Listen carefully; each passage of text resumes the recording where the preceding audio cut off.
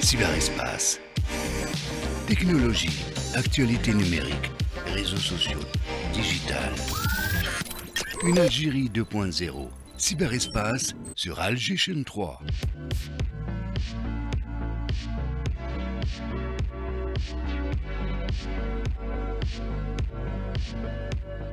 Bonjour Samy. Bonjour Soria. Le président Abdelmajid Tebboune a présidé hier une réunion consacrée à l'évaluation du travail de l'agence spatiale algérienne examinant sa situation actuelle sur les plans euh, structurels et financiers.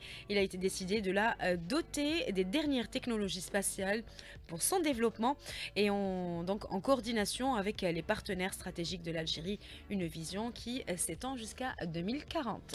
Le président de la République en octobre dernier avait déjà souligné l'importance d'améliorer la connexion Internet qui est étroitement liée à la myriade de prestations de services dans des secteurs vitaux, tout en assurant la protection des réseaux, soit prendre au sérieux tout ce qui a un rapport avec la cybersécurité, mais également de se pencher sur l'exploitation de la technologie satellitaire pour fournir une connexion Internet rapide, fluide, pour accompagner la transition numérique du pays.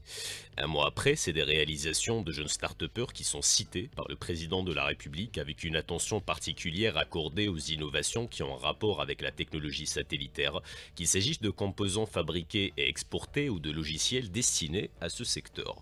La technologie satellitaire joue un rôle crucial pour la connectivité, la gestion de la donnée, améliorant considérablement les capacités de communication, en plus de fournir de la data, de la donnée propice à une meilleure prise de décision, qui se base sur des chiffres et statistiques précis générés à l'aide d'images satellitaires.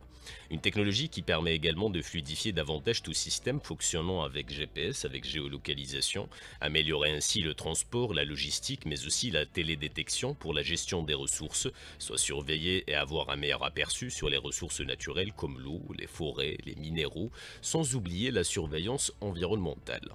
Une technologie employée au sein de certains secteurs vitaux, au sein de Sonatrach par exemple, pour la mise en place d'un système d'estimation des émissions de gaz torchés et de voire des techniques spatiales utilisées sur les champs en développement de Sonatrach, idem pour les modèles numériques terrain qui représentent la topographie d'une zone terrestre plus facile à exploiter sous format numérique.